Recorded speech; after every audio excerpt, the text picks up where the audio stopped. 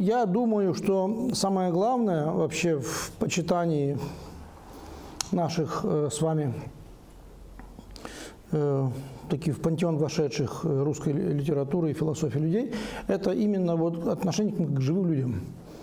Они живы, есть соблазн относиться к ним как к мертвым.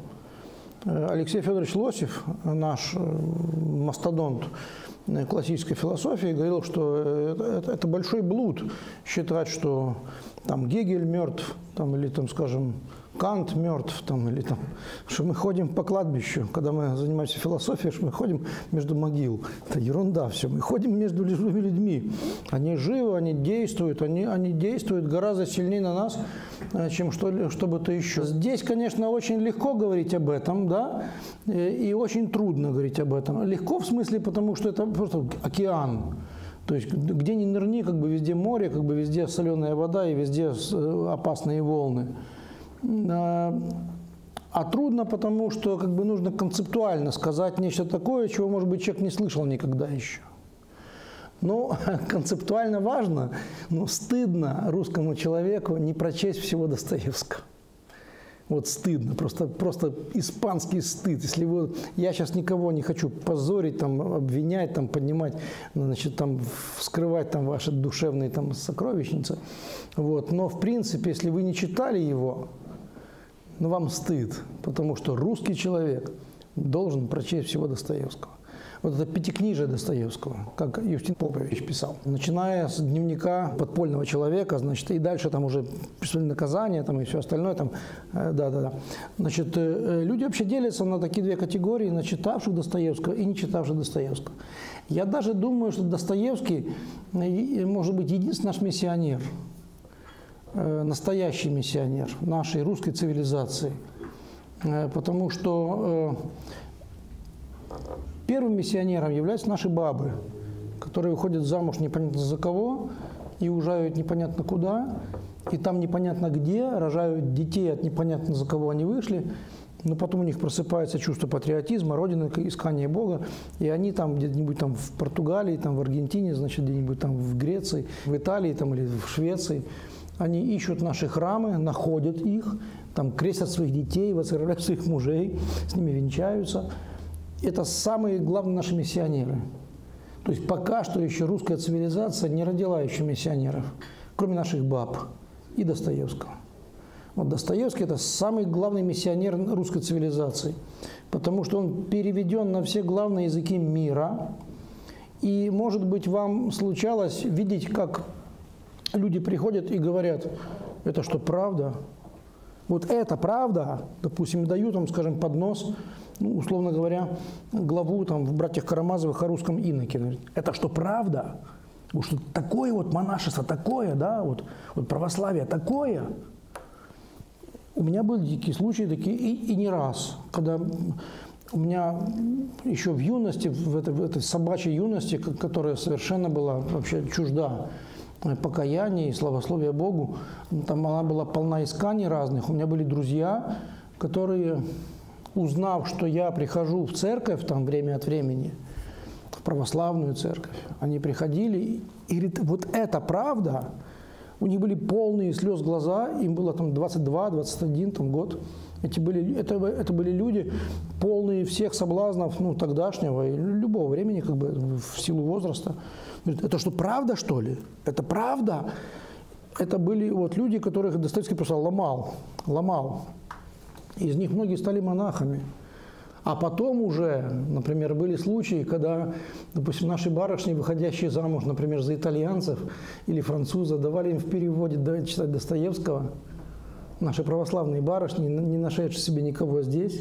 Потом, когда они своим мужьям давали на французском там, или на итальянском, например, там, бесов там, или идиоты, или братьев Карамазовых, и когда их мужья с полными слез глазами приходили в церковь и говорили, Господи Иисусе, о, Jesus Christ, о, мой Lord, о, мио сеньоре, там, Джезу Христо, это что? Вот это вот это есть русская душа. Такое.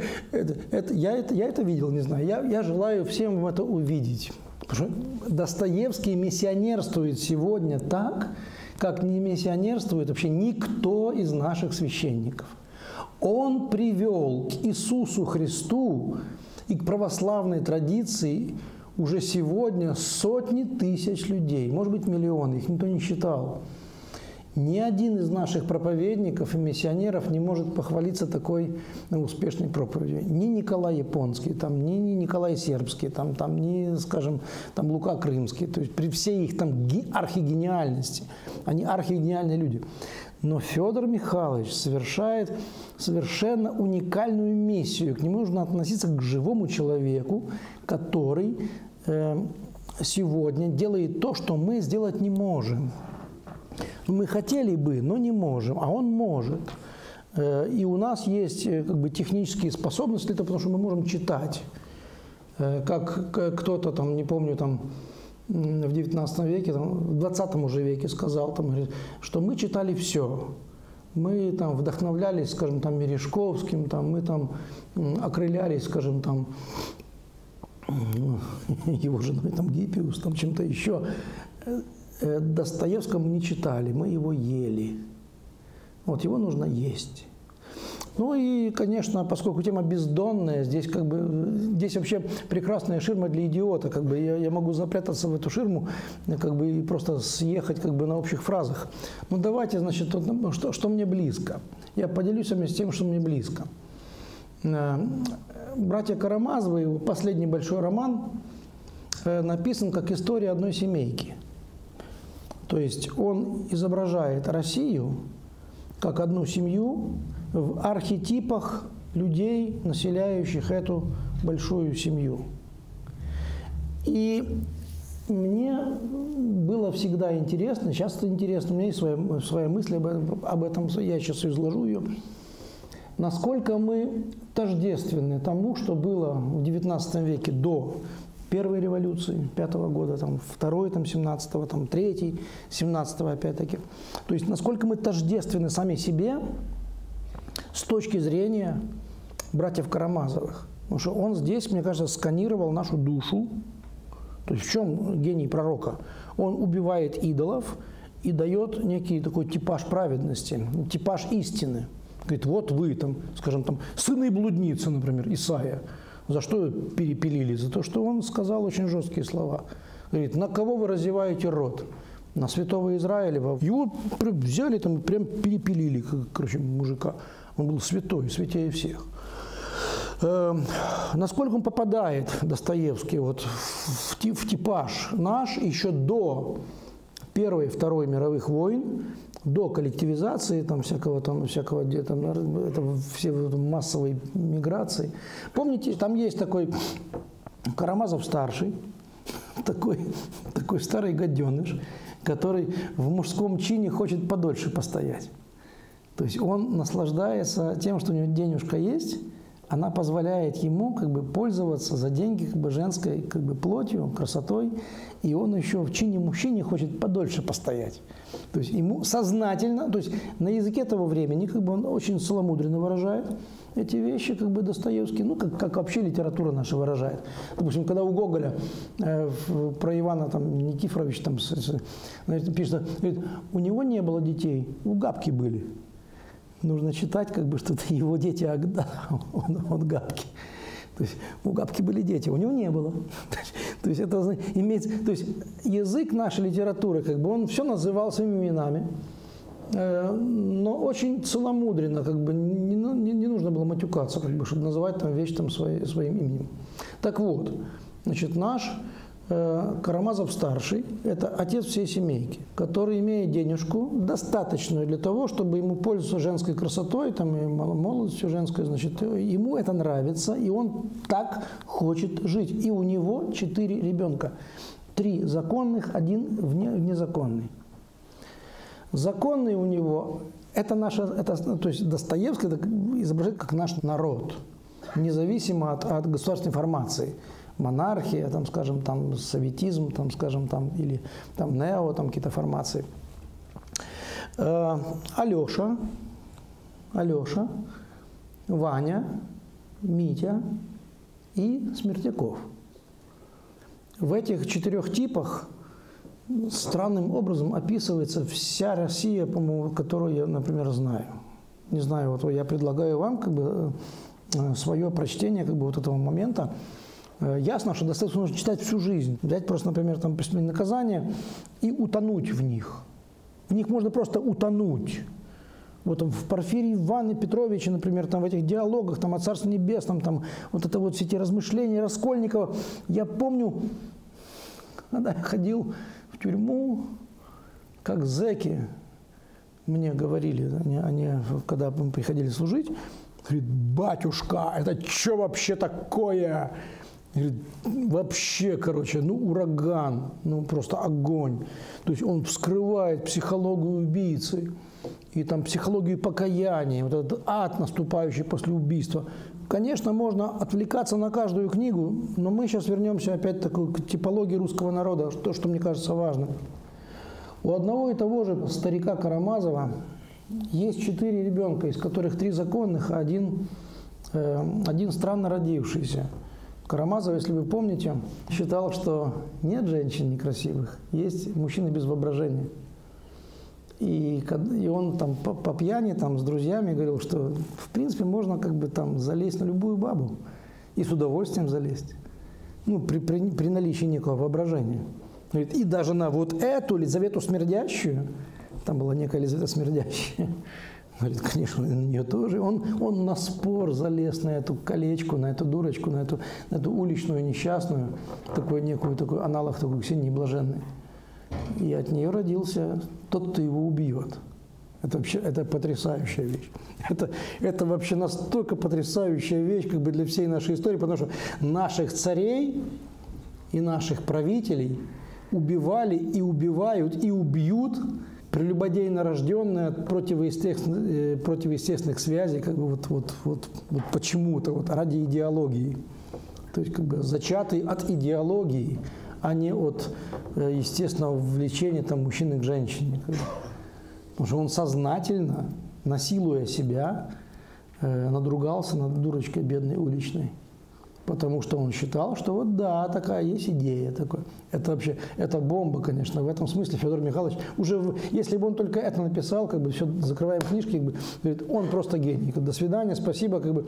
То есть Ницше, он, ему хватало двух страниц, чтобы он упал в обморок. Он учил русский язык, чтобы это читать. Самые лучшие люди мира специально учили русский язык, чтобы читать Достоевского в оригинале. У нас есть такое оружие, это, это сильнее циркона. Вот тот крестьянин, который не боялся рожать детей, у него не было понятия многодетный. У него было там 6, 7, 8, 9, он не знал их имен. Он говорит, ты там, ай, там, Ванька, я, я знал таких э, старых мужиков, которые там вот в горах, я видел в Закарпатье. Говорит, Петька, как тебя там? Слушай, иди сюда. Там. Он забывал детей, как их зовут, потому что было их много. Их было много. Они стали людьми все. Никто из них не стал там ширку варить, там, как бы, значит, не стол. Ну, короче, там они, ни гомосексуалистов не было. Они все как-то работягами стали, там, кто там трактор водит, там, кто-то врачом стал там. Мы до сих пор русские или мы уже другие? Вот меня этот вопрос очень сильно интересует. У нас нет крестьян. У нас хозяин на земле убит. Э, вопрос советской власти был вопрос о земле. Если землю сейчас раздать, никто не будет знать, что с ней делать. Например, дайте мне землю. А что я с ней буду делать? Я не знаю, я боюсь земли. Я ее боюсь просто. Я не то, что не знаю, что с ней делать, я просто боюсь ее, потому что, ну, земля, ну что, земля. Надо ее когда перепродать, переарендить, как бы, значит, вот это все, что я могу. А вот там пахать, возделывать, там что там на ней там потеть, ну я не умею, меня не учили. У нас нет купечества. Вот нет купечества вот тех самых мужиков, которые с полпятого утра до двух часов дня молились по церковному уставу, потом пили чай, там, значит, там наливались там, значит, самоварами там этими до, трех-четырех.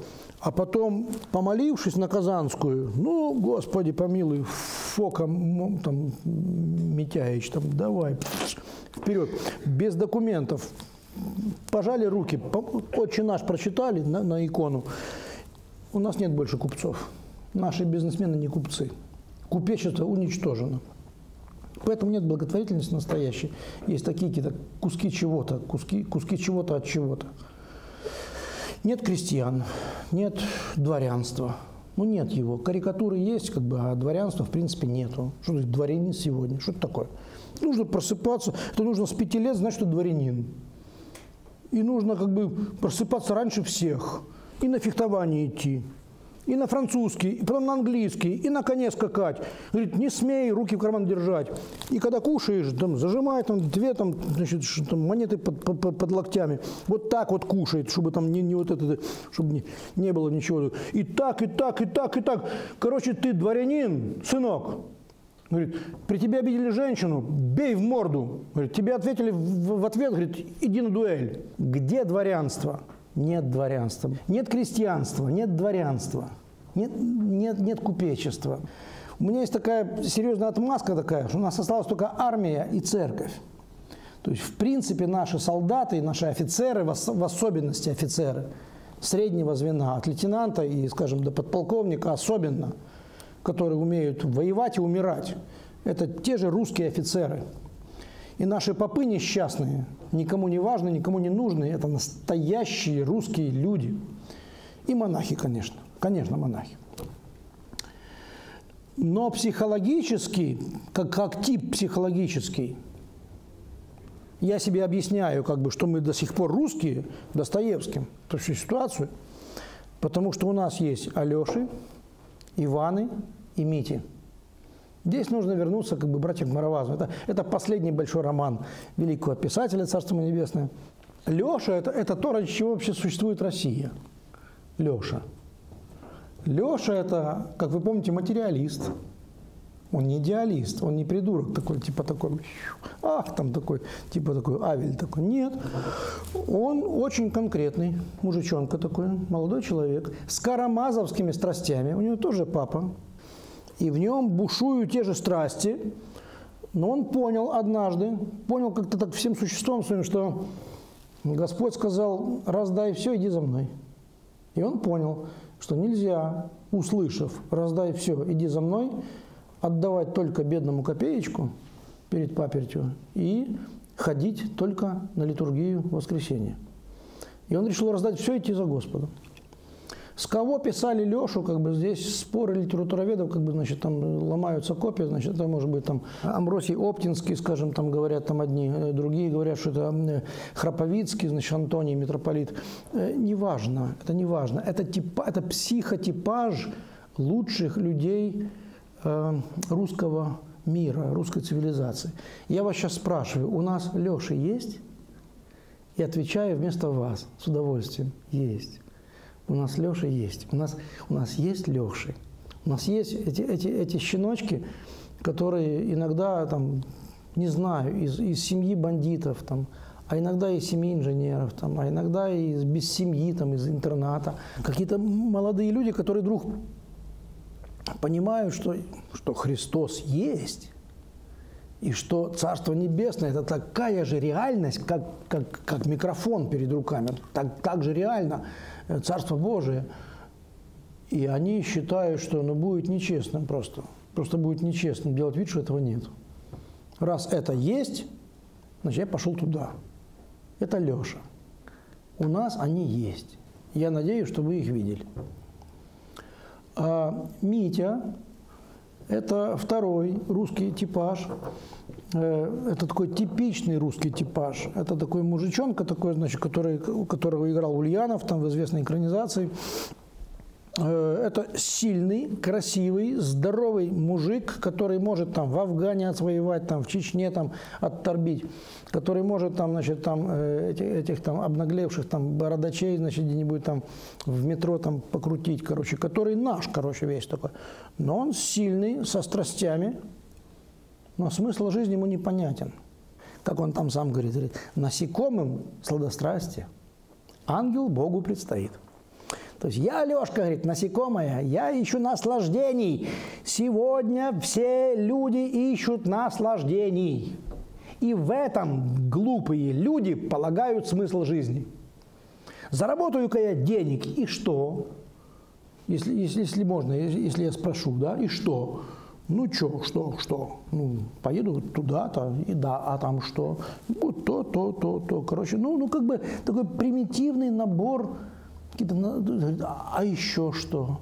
А в космос полететь, там, типа, там, что-нибудь еще, там, типа, там, монастырь строить? Нет. Ну, что-нибудь такое вот ощутительно вкусное такое. И вот Митя – это, в принципе, царствующий типаж русского человека. Это человек, который силен, умен, красив, готов страдать за чужие грехи. Если вы помните братья Карамазовы, саму ткань романа, он страдает за чужие грехи, он готов пострадать. Знаете, как, как говорил Фридрих Дюрнмат, был такой швейцарский такой э, писатель, значит, э, он был сын пастора, он лютеранского вероисповедания, но он гениальные вещи сказал, написал. У него есть такой визит дамы, такой вообще совершенно бомбезная штука. И он говорил, у него есть такая фраза, говорит, если вдруг любого человека схватить на улице европейского города и заключить его в тюрьму без объяснения причин, через полчаса человек будет знать, за что его посадили. Потому что совесть наша знает, что мы страшно виноваты. Нас можно сажать сегодня всех на разные сроки. Митя готов страдать за чужие грехи. Он знает, что он не виноват, но он готов страдать. Русский человек вообще готов страдать за чужие грехи. Вот западный человек, он хочет докажите, объясните, представьте там, значит, это, это, значит, такое, чтобы, ну, ну, чтобы доказать, в конце концов, я виноват. Он знает, что он виноват. Но он хочет, как бы, чтобы ему доказали. Ну, доказали, ну ладно, я сдаюсь. Как бы. Он легити, такой легист. А русский нет. Он готов страдать и за свое, и за чужое. И мы страдаем всю жизнь за чужие грехи. Вся русская цивилизация – это, в принципе, это крестораспинание как бы за, за, за всю Вселенную. За что этим крестьянам такое выпало такое? За что этим, этим? Почему весь Запад вдруг начал там баловаться в акционерство, там у всех появилось по две машины, недвижимость там, и акции там, в предприятиях там, из-за того, что нас всех изнасиловали вот так вот жестоко и брутально и так беспощадно.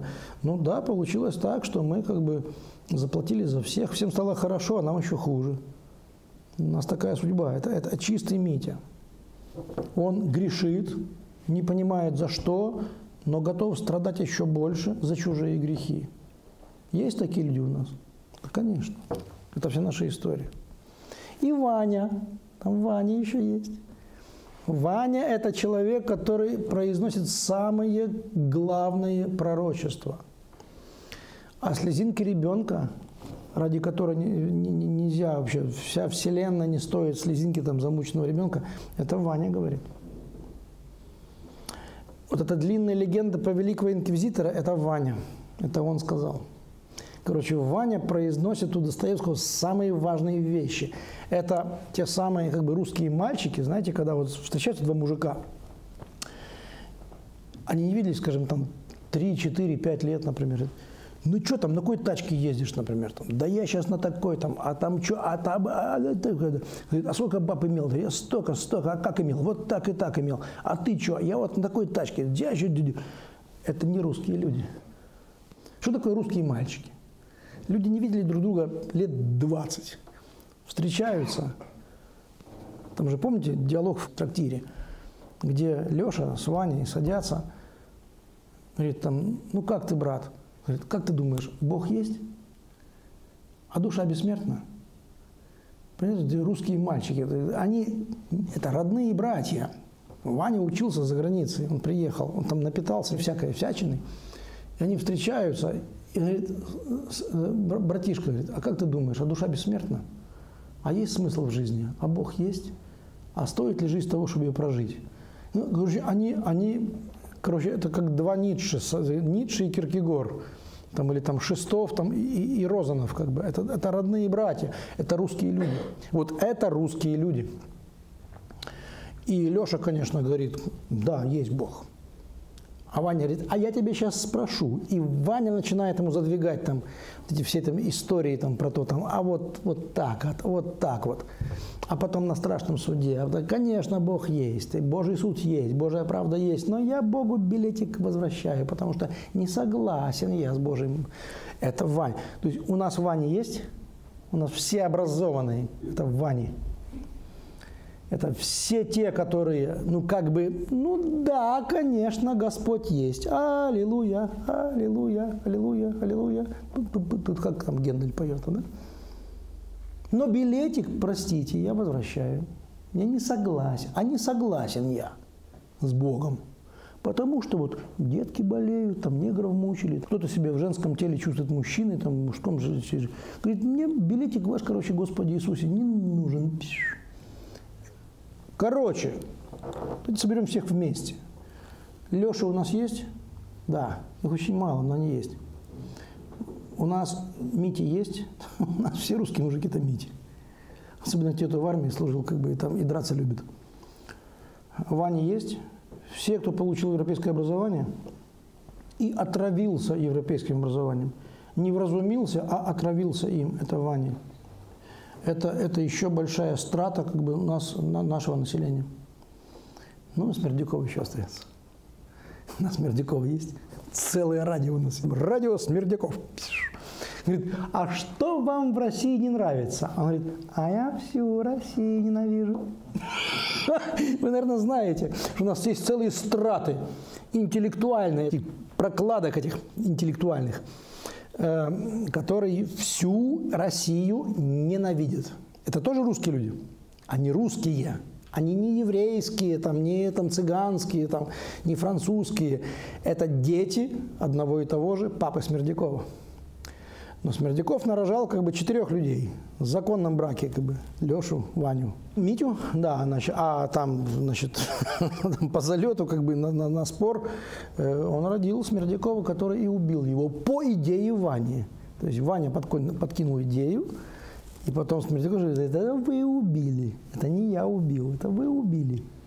Убил тот, кто придумал идею. Идею придумали вы. Вы и убивец. Там вообще очень, там такие жесткие вещи о вере сказаны, которых никто никогда не говорил. У нас было великое мирянское прозрение. У нас были самые главные богословы церкви были миряне. Архиереи были Царство им небесное. Кто дожил до, до страданий, того убили, тот омыл свои грехи кровью. А кто не дожил, как бы, тот, там, там уже как бы Господь разберется, там, кто, кто каким был. Но архиереи наши молчали. У нас говорил Достоевский, говорил Хомяков. Например, литургист был у нас Гоголь. Первый литургист вообще русской цивилизации – это Гоголь. Ни один священник, ни один архиерей, ни один монах. Гоголь. У нас литература, как бы, почему литература центричная нация. Почему нам вообще смертный грех нам не читать книжки? Почему? Потому что у нас литература центричная нация. У нас самые главные смыслы высказывали писатели – не богословы, не политики, не архиереи, не монахи, писатели. Вот странно, ну так получилось. Вот Гоголь сказал, например, ну прикиньте, он сказал в далекие годы, значит, еще до 19 века, там, на, Никит, на Никитском бульваре, на котором сейчас приятно ходить, а тогда еще, наверное, было спокойно и тише. Он говорит, говорит, дьявол вышел в мир без маски. Ну что он такого увидел? В этом мире, в котором какой дьявол, какой, какой, какой маски. Говорит, ну с ума сошел человек. А он реально вышел, и скоро все началось. И такой же у нас был Хомяков Алексей Степанович, который говорил о единстве церкви, там, о экклезиологии. Такой же был Федор Михайлович Достоевский. И такой же был там другой, то другой, другой. Вот, то есть у нас писатели, они, почему у нас поэт больше, чем поэт? Ну, потому что им дается больше, потому что другие молчат. Потому что когда молчит тот, кто должен говорить, заговорит тот, кто не должен говорить. Вообще нужно понять как бы такую, ну, очень такую жуткую, жуткую вещь, что литература русская в начале была способом борьбы с Богом. Это была альтернативно э, построенная такая, значит, вот э, такой поток, такой река, которая как бы там театр, литература там и все остальное, там что там здесь, там такое словесно-художественное творчество такое. И наши все святые отцы, они говорили, там, не смейте ходить в театр, там, надо в церковь ходить, там, на все ночную, там, на литургию, там, а все образованные, там, э, там эти арт, ретрограды, ортодоксы, значит, такое, в театр, в театр, там, в библиотеку, там. То есть она возникла изначально у нас со всем там пафосом некрасовским, а Гоголь, э, в смысле, Достоевский, он же был же и он сам говорил, что он там вышел из шинели там, гоголевской. То есть они вышли из такого пафоса любви к брату, пафоса такого проповеди о любви к простому человеку. То есть изначально в условиях молчащей официальной церкви русская литература была, взяла на себя несвойственную роль нравственного авторитета. Это было плохо для церкви, хорошо для литературы и плохо для всего государства российского. Потом, когда обрушилась привычная ситуация, когда Россия историческая обрушилась, ее просто перестало быть. Когда убили царя, когда там повесили дворян, когда одни убежали, другие перекрасились, когда была война, там все-все-все, русская литература стала священным писанием красного русского цивилизационного поля. Э, есть такое мнение, такое, такая фраза, такая, когда в 1937 году э, к столетию смерти Пушкина издали его полное собрание сочинений, а вместе с ним издали еще ПСС, значит, Достоевского, там, Тургенева, там, кого-то еще, русские филологи, русские специалисты, русские э, дворяне за рубежом в изгнании сказали, Россия спасена. То есть русская литература сначала была против Бога, как бы параллельно с Богом, ну и пикировалась с Богом в, там, в лице, там, скажем, Лескова, например, там, кого-то еще. Там. Потом, когда мы Бога отменили, как бы, у нас вместо Бога стала литература. И мы изучали литературу так, как талмудистские евреи изучают Тору. Потому что пушкинисты знают жизнь Пушкина по минутам. Они буквально съели всего Пушкина, просто по костям, обсосали каждую косточку. Они буквальные талмудисты, талмудисты-пушкинисты. Для них, вот как для еврея Тора, так для русских специалистов по, по там, Тургеневу там, или, там, скажем, там, по там, Толстому там, или по Пушкину, там, для них вот так, они прямо... И вдруг они нашли там Бога. Не все, конечно, но многие, потому что там Бог есть. Там Бог везде. Просто, как Бродский писал, там в деревне Бог живет не по углам, как думают насмешники, а всюду. Э, и вдруг эта литература, которая сначала была против Бога, потом была как бы вместо Бога, она стала путем к Богу. И сегодня русская литература – это серьезнейший миссионерский потенциал возвращения к Богу и нашего народа, умеющего читать по-русски, ну и всех людей, на, языке которых переведены наши произведения. В этом смысле мисси... Э, Достоевский – наш главный миссионер. Я бы хотел э, обратить ваше внимание на самые простые вещи, которые есть у него. Э, конечно, можно было бы сказать о его опыте смерти. Потому что вот у Гюго, Виктора Гюго есть произведение, там «Один день пригоренного к смерти». Серьезное произведение. Нужно сказать, что в Франции до конца XIX века и даже к началу XX казнили публично смертью. И все это смотрели, это было большое зрелище. У нас таких зверств не было со времен еще Елизаветы Петровны. И он пережил, как бы, конечно, вот эту смерть как бы, с петрошевцами. Понятно, что об этом можно отдельно поговорить. Он прекрасно знал книжку Гюго и знал по себе самому, что это такое. А, можно, конечно, поговорить про Евангелие, потому что ну, опыт каторги и Евангелие под подушкой. Это, собственно, это и есть Достоевский, будущий. Там, короче, можно, там можно, конечно, об игроке говорить, там и об о, э, Анне, его последней суп, настоящей супруге, о которой он говорил перед смертью, что Аня, я тебе даже в мысли не изменил. Он был такой залетный мужичок, такой, ну как, как в принципе большинство мужиков, но вот эту свою жену, Анну Григорьевну, Э, он любил по-настоящему, она была его ангел-хранитель. И вот бесы, там, и идиот, и братья Карамазовы, это все родилось благодаря ей. То есть там может есть такая женская тема, серьезнейшая женская тема. Э, короче, здесь можно двигаться в любую сторону. Но э, чтобы легче было двигаться, давайте еще вещь, две вещи скажем. Во-первых, записки из подполья. Это вроде бы такая, ну, не самая сильная вещь у Федора Михайловича.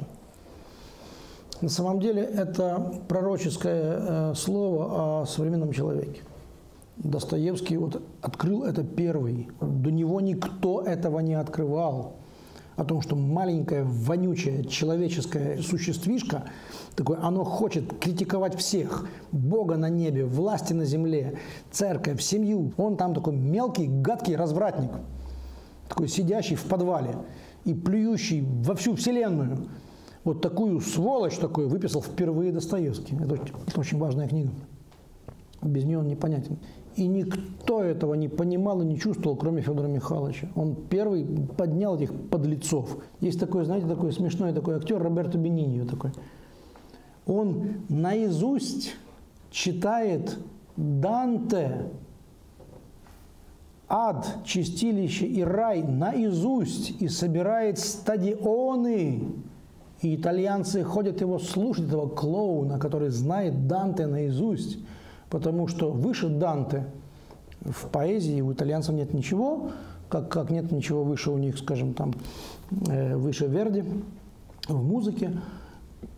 И слава Богу, Представляете? И он читает это наизусть, и люди стадионами собираются. Раньше вот я знаю, что была такая школа э, чтецов-декламаторов. Мне было лет, наверное, 10. Я однажды ходил во Львове, в филармонии. Как меня туда занесло с родителями. Они зевали там и ходили, хотели в э, буфет быстрее уйти.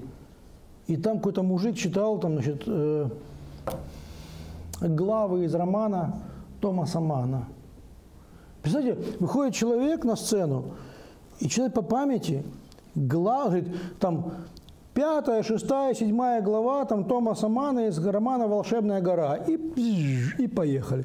Все работяги такие слушают. Он рассказывает, бум-бум-бум-бум. Он знает, а им интересно. Представляете, как была словесная культура, был голод по слову. Мне жалко, конечно, что некоторые вещи просто умерли, и трудно их возродить, чтобы так вышел какой-то мужик, например, там Чехов, степь, бабам, наизусть. Ну, как бы с мимикой, там, с этими делами, там, ну, надо, ну, ну, ну, часик, может, почитать, там, степь, она за час прочитывается. И мы все такие, оба, степь, Чехов, это ж про меня.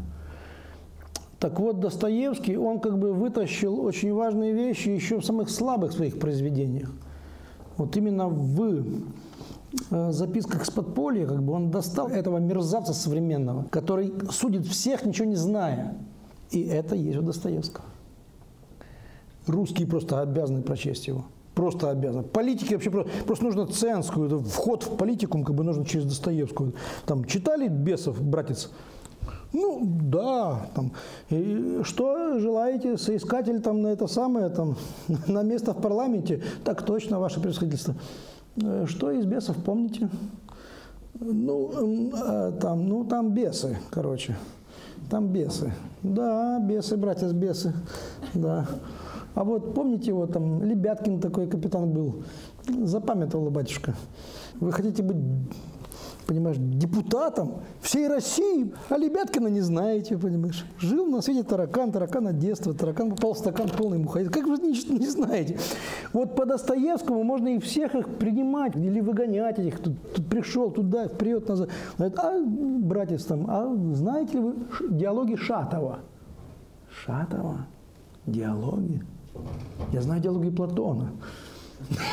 Шатова нет. А диалоги Шатова, они важнее, чем диалоги Платона, я вам скажу. Это, это, это полное выражение мировоззрения современного безбожного человека.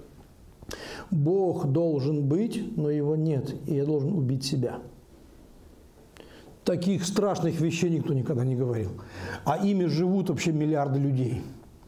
Бог нужен, но его нет. Значит, я умру, потому что нет смысла ни в чем. И тут говорит, аллилуйя, аллилуйя, такой Гендель такой в конце, аллилуйя, аллилуйя, аллилуйя. И такой, Христос воскресе. И такой, что он есть, что ли, есть? Ой, как хорошо он есть. Шатов, это вообще Кириллов, Шатов, это самые важные идеологии мира Достоевскому как-то дал Бог. Я не знаю, как он жил с этим, я честно скажу, я пытался писать пару книг в своей жизни. Я, я, я понимаю, как, как это напряжно как он это все носил в себе, как он пропустил через себя самые главные смыслы человечества до самого страшного суда. До страшного суда ничего нового не произнесется. Он выговорил всю нашу историю до самого страшного суда. Поэтому сегодня вообще надо сейчас вернуться домой. Не думайте, жены спать с мужьями, мужья с женами. Вы уже много раз спали друг с другом, но вы еще не читали вместе с братья Карамазовы. Надо, надо вернуться домой. Значит, там, ты читай как бы преступление, наказание, там, я идиота. И поехали с Достоевским знакомиться, потому что нельзя русским не читать Достоевского. Он не просто билетрист. Он высказал все, что будет в мире до самого страшного суда. И последнее. Сон смешного человека. В нем весь Достоевский. То есть можно не читать братьев Карамазовых, чтобы понять вообще, о чем он думал. Вот сон смешного человека. Это человек на грани жизни и смерти, там как бы суицидальник такой, который не понимает, зачем жить в этой собачьей конуре, которая является Вселенной. Вселенная – собачья конура. Без Бога, будь она проклятая Вселенная. Я прокляну собственную коммуналку, значит, и собственную машину, как бы все прокляну. Если Бога нет, вообще ни в чем нет смысла. Но когда Бог есть, то все как бы храм. Все хорошо, слава Богу. Я покаялся. Господи, прости меня, прости меня грешного. Я там покипятился, как бы. ты же добрый, ну, прости меня. И вот он как бы там описывает эту проклятую коммуналку, в которой все было хорошо, и он там туда попал, суицидальник, как бы такой на грани суицида, и он там их всех развратил, один. Чтобы всех развратить, нужен только один человек. Чтобы все опаскудились, нужен только один человек. Если, например, там, условно говоря, я сейчас вам насею, в... почему так страшно быть священником, вообще, почему так страшно вообще что что говорить людям? Потому что у того же Достоевского Смертяков говорит, а я, говорит, помните, помните, вы рассказывали, как один святой, ему там голову там отсекли за Господа, а он э, взял сию главу значит, и понес ее на руках, и любезно Юла бы Заши. Он говорит, ну, не помню, конечно, мало ли там мы там тогда обедали, мало ли что за обедом не скажешь. Говорит, вы тогда обедали, а я тогда веру потерял. То есть может что-нибудь такое ляпнуть. Человек возьмет потом, не то, что ты виноват, а он потом скажет, а я из-за тебя веру потерял. Ты сказал, я веру потерял. Может, он лжет, может, просто придумывает себе оправдание. Не знаю. Но это серьезная вещь. Один человек может весь мир развратить. И вот он там описывает ситуацию, где он, он считал, что он же был социалистом, Достоевский, ну, по сердцу. Что такое социалист? Он был христианский социалист, такой типа ХДС, ХСС, такой типа а Меркель такой, ну, ну, в лучшем смысле. Он считал, что люди достойны жить во плоти не в ангельском мире, а во плоти здесь, с любовью во Христе и быть счастливы. Он так считал. И он говорит, я верю, в полной верой в это верю, что человек достоин счастливой, блаженной, нормальной, человеческой жизни, без унижений, без там того всего здесь. Там, само собой, там другая жизнь, там как бы мы ее пока не знаем. Но здесь тоже можно жить правильно, по-человечески. Человек достоин этого, Достоевский в это верил. И он проповедовал это, в принципе, это был христианский социализм, так называемый. Он говорит, только без Бога это невозможно, потому что вы сейчас начнете без Бога делать всех счастливыми и построите концлагерь. Начнете с любви ко всем, а закончите срезанными миллионами голов. Он был абсолютно прав. Он как в воду глядел. Э, и вот сон смешного человека, как бы это концептуальная такая вещь у него, да, которая рассказывает об истории грехопадения человечества. Люди погибают из-за мыслей. Не из-за бедности, не из-за жестокости, не из-за чиновничества, не из-за чего-то еще. Люди мрут вечной смертью из-за неправильных мыслей. Это, конечно, это тоже страшное откровение. Знаете, есть такое песнопение великого постное, такой «Чертог твой вижу спаси украшенный, и одежда не имам давниду в онь. Просвети, жизнодавче, там, одеяние души моей, и спаси меня, как человека любишь». Что такое покаянно надежное, такое покаянно умилостивительное, такое нам можно пропеть с Достоевским. Э, он же сам сказал, что моя осанна, он говорит, я пою осанну, я пою осанну. Но осанна моя прошла через большие горнилы испытаний. И я человек в полной мере своего поколения. И я прошел через все соблазны своего мира. Только я понял, что если на одной стороне Иисус Христос, а на другой стороне математически доказанная истина, я буду Иисусом Христом что Иисус Христос – это самый добрый, самый мудрый, самый святой, самый светлый, самый богатый, самый добродетельный, вообще это самый важный человек Земли. Истина в нем, он сам истина. И если вы мне докажете, что истина – это не он или не в нем, что истина отдельно, Христос отдельно, а истина отдельно, я буду с Христом без вашей истины. Потому что истина в нем, а не в том, что вы сказали – да заодно это нужно по, всякому, по всем городам империи построить ему памятники и служить панихиды. Царство ему небесное. Надеюсь, что мы с ним встретимся. Аминь.